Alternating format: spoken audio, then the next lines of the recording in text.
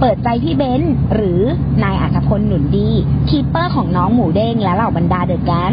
เผยก่อนที่หมูเด้งจะเกิดเป็นช่วงที่กำลังสอบสัมภาษณ์ บรรจุงานเข้าทำงานในสวนสัตว์ โดยให้สัญญากับผู้บริหารว่า จะทำให้น้องฮิปโป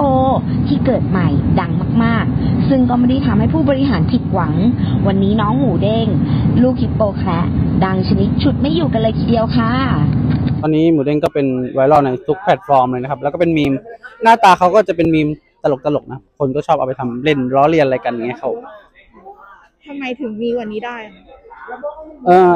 ก็ด้วยตัวน้องเองครับที่แบบมีความตลกอยู่แล้ว แล้วเราเป็นคนที่ชอบถ่ายภาพ ภาพน้องก็เลยไปอยู่ในโลกโซเชียลเยอะครับ คนก็เลยชอบ รู้สึกเหนื่อยเลยครับ รู้สึกเหนื่อยเลยตอนนี้ ตั้งแต่น้องเกิดมาคือตอนนี้ คนเยอะมากครับงานเยอะมากน้องหมูเด้งมีความพิเศษกว่าตัวอื่นยังไงบ้าง ก็เขาก็เหมือนเหมือนกันนะครับ แต่เขาอาจจะเกิดมาในช่วงเวลาที่มีโซเชียลเป็นแบบแรงขับเคลื่อนให้เขามีมีเป็นที่รู้จักอย่างเงี้ยตัวอื่นก็ลักษณะนี้เหมือนกัน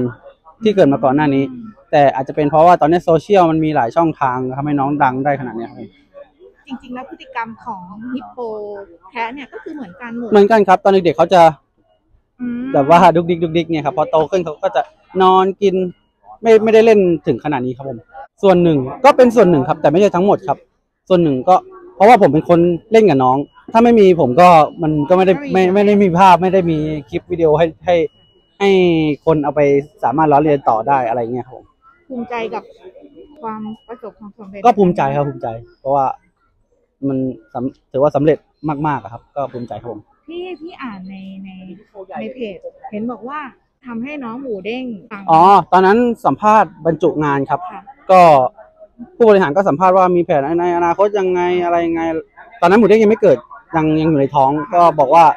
ถ้าเกิดมีลูกฮิปโปเกิดมาใหม่เนี่ย ผมจะทำให้มันดังมากๆ แต่ว่าอันนี้มันมากแบบว่ามากมากไปอะมันมันไม่ได้คิดว่าจะมากขนาดนี้ครับแล้วทำไมถึงคิดจะปั้นแค่น้อง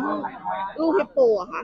ไม่นะครับ ในเพจมีหมดนะครับสล็อตคาบิบาร่าหมีขอฮิปโปใหญ่มีหมด แต่ที่ว่าตอนนี้ลงหมูเด้งเยอะเพราะว่าเขาเพิ่งเกิดไงครับแล้วว่าความซุกซนมันแบบว่ามันเยอะกว่าตัวอื่นๆก็ เดี๋ยวพอเขาโตผมก็กลับไปลงตัวอื่นปกติเหมือนเดิมครับก็แสดงว่าคือเป็นนักปั้นงูทองอ่าขอเฉพาะสัตว์นะครับเฉพาะสัตว์ก็ก็แบบว่าเวลาผมเล่นกับสัตว์แล้วคนชอบดูครับผม น้องหมูเด้งเขาดังได้เนี่ยมาจากประเด็นแรกเลยคือหนึ่งเรื่องของเออชื่อเขากับพฤติกรรมของเขานะครับชื่อหมูเด้งพฤติกรรมที่เขาดีดเด้งไปมาในเวลาที่ที่พี่เลี้ยงเอ่อทำความสะอาด อาบน้ำให้อะไรให้ให้กับพฤติกรรมบางจังหวะของเขานะครับ ส่วนอีกประเด็นหนึ่งเลยที่ทำให้น้องหมูเด้งดังเนี่ยมาจากความ create ของ keeper คนนี้นะครับความ create ของ keeper น้องเบนซ์เนี่ยที่ create คลิปออกมาแต่ละคลิปต่างๆนานาเนี่ยทำให้แฟนคลับเนี่ยติดตามนะครับสามารถไปตกแฟนคลับ แล้วก็ทำให้ติดตามน้องหมูเด้งได้นะตอนนี้ครับน้องเข้ามาทำงานประมาณ 6-7 ปีแล้วนะครับ ตรงนี้นะครับตั้งแต่เขาเข้ามาเป็นลูกจ้างจนปัจจุบันเนี่ยเขาได้รับการ บรรจุแล้วนะครับ ก็อยู่ในช่วงของทดลองงานครับเป็นช่วงที่น้องหมูเด้งเกิดพอดีที่เขาเขาได้รับการบรรจุ เห็นว่าทางผอเป็นคนสัมภาษณ์เขาในการเอ่อเข้ามาบรรจุในครั้งนี้ คือคือความจริงอะเราเราคุยกับเขานานแล้วคุยกับเขาระหว่างที่อ่าแม่โจเนี่ยท้องอยู่นะเขาบอกว่าพอจะปั้นไหมเอา ปั้นเลย เพื่อให้เพื่อให้เขาดังนะครับ แล้วในช่วงของการสัมภาษณ์งานก็ถามเขาว่าความจริงแล้วเขาเขาเออเราก็อยากรู้แนวคิดในการทำงานของเขาเราอยากรู้ก็เลยแนวแนวคิดวิสัยทัศน์ของเด็กระดับปฏิบัติการซึ่งเป็นนักวิชาการเนี่ยหรือว่านักวิทยาศาสตร์เนี่ยเราจะดูว่าแนวคิดในการทำอะไรของเขาเป็นยังไงก็ไม่คิดว่าเขาก็จะทำให้มันดังจริงๆนะตรงนี้นะครับ